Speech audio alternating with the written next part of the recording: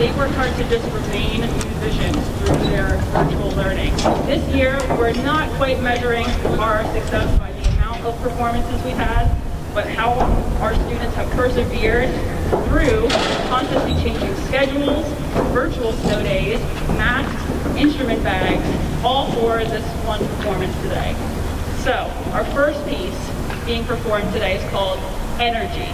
Composer Adrian B. Sims is a Maryland local graduating from Catonsville High School and currently attends the University of Maryland. He's 21 years old. He's earned several awards and recognitions from all across the country. Today, we are thankful for the select concert band members who stepped in to complete our symphonic band sections. Freshmen, can you raise your hands, please? Thank you guys for being here. This piece is called Energy, and we believe it will portray as much energy as we have felt sitting here today. Sit back and enjoy.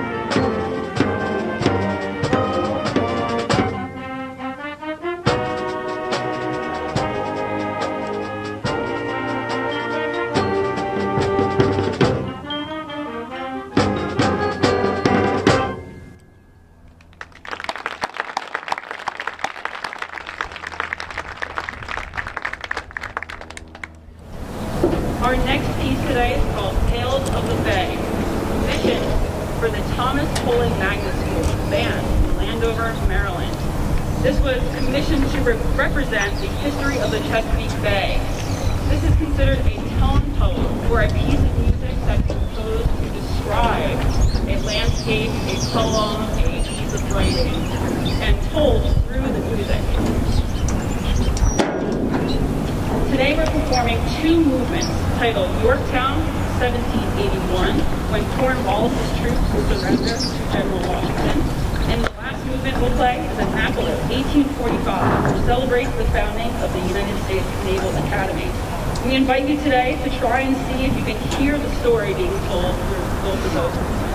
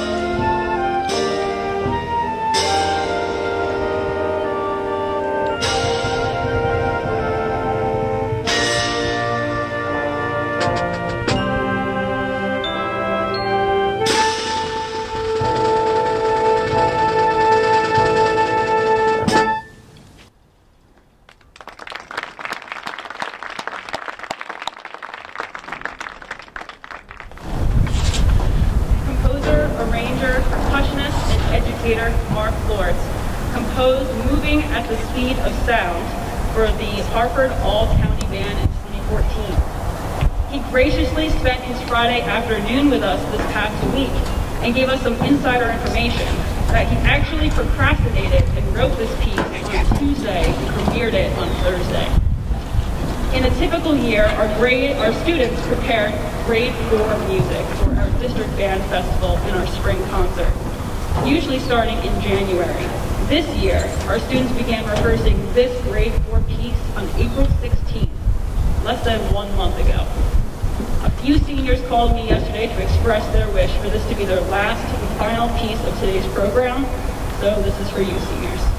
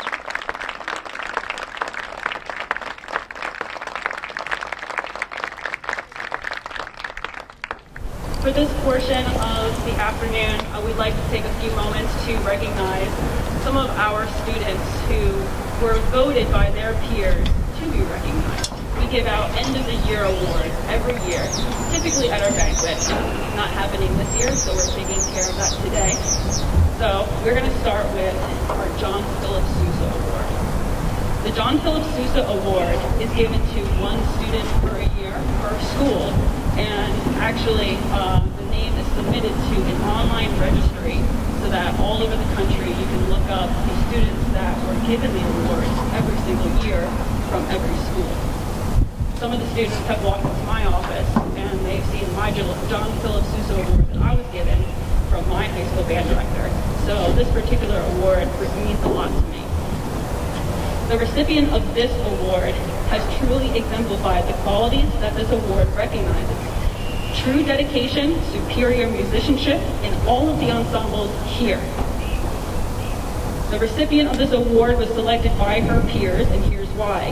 She prioritizes her membership in each ensemble in which she performs. For that has included marching band, jazz band, pit orchestra, and both symphonic band classes. In all of these ensembles, she has grown into a leader to her peers and an accomplished musician in all styles and genres. As an educator, I appreciate that she is willing to accept feedback gracefully and immediately work to make improvements. It's clear to me why her peers nominated her for this honor. They observe her in all ensembles being respectful, prepared, while being flexible and a true leader by example. While playing or whether playing alt, alto, tenor, or soprano saxophone, she can be described as one of the most dedicated band students in our history. It is my absolute pleasure to present the John Philip Sousa Award to senior Jordan Hunter.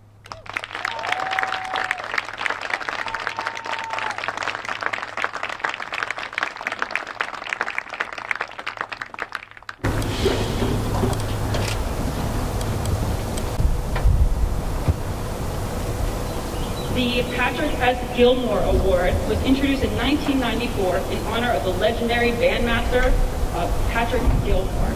And his band joined the General Burnside expedition to North Carolina in the Civil War. This award honors outstanding high school band students and their achievements and commitment to the band.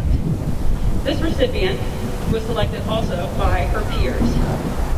This musician is incredibly talented and a member of both symphonic band classes, marching band, jazz band, pit orchestra, and now AP Music Theory. Although one of my quietest students, I have been able to rely on her as a powerhouse of our sound in our low brass section. I am continuously impressed by her musicianship, which has earned her placement in several all-shore ensembles and qualification for the All-State Solo and Ensemble Festival last year. She has been consistently present for all rehearsals, for all ensembles, even if that means walking home nearly four miles with her instrument. For four years, I've had the luxury of depending on her to perform confidently and provide the best example of an incredible trombonist for her peers. I would like to present the Patrick S. Gilmore Award to senior Adriana Dryden.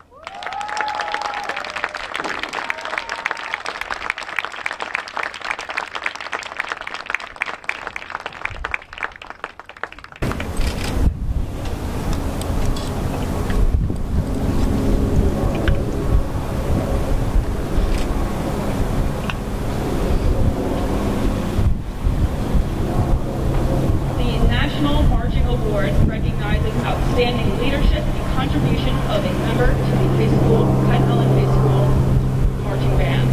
The recipient is chosen based on exemplary leadership, musicianship, and dedication to the band program. And the recipient is chosen by the members of the marching band. The recipient of this award has been a natural leader and incredible source of information for myself and other students in all ensembles here at Kent Island High School. She has stepped up and stepped in several times when parts needed to be covered. Like last week when the composer asked her to cover three different parts at the same time, and she accepted and nailed it without complaining. She has led her section to earn several first place percussion awards in the Tournament of Bands. Continuing the family legacy of receiving this award, it is no secret why her peers selected her for this honor for the second year in a row. No doubt due to her passion for music performance and sharing her expertise with those around her. I'm proud to present this year's Marching Award to senior Caroline.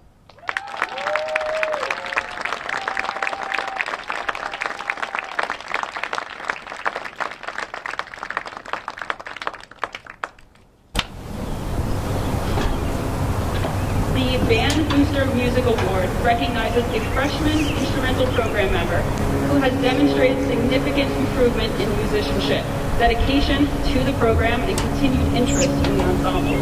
This year, students were asked to nominate a freshman recipient and an explanation as to why they believe they exemplify these characteristics. The recipient of this award was nominated by her peers for being a dedicated member of the concert band through virtual learning and now in person. In a band room of students who often forget their music or don't show up at all, I can count on her to be present and accept feedback graciously. In the few months we have worked together, I'm incredibly impressed by the progress she has made, despite how often she doubts herself.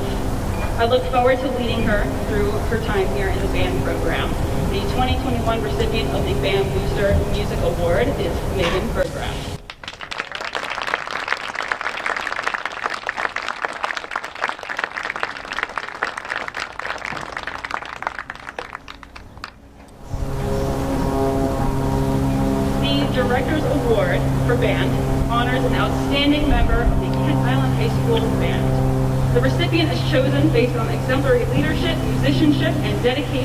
The band program, and this recipient is chosen by the band director.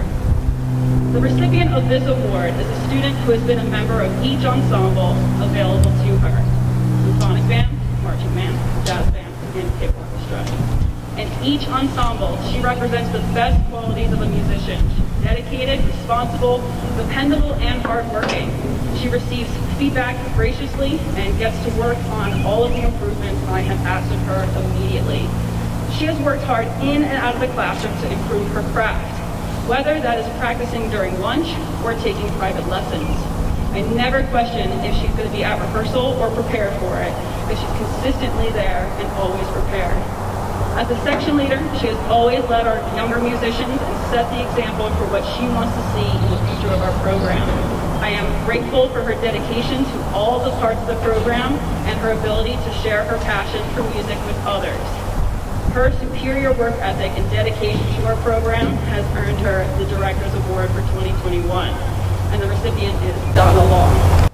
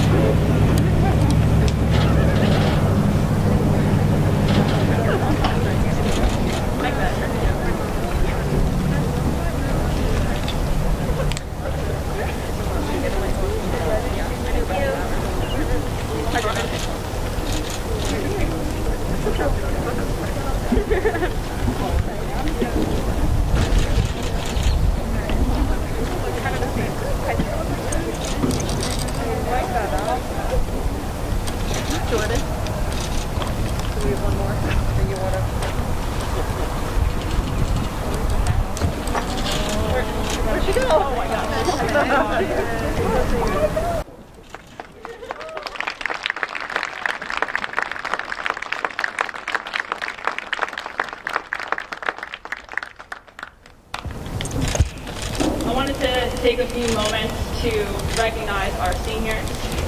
Um, thank you so much for the parents that helped us organize these honors for them and making their last performance, uh, first and last of this year, memorable. um, here today. To all of you,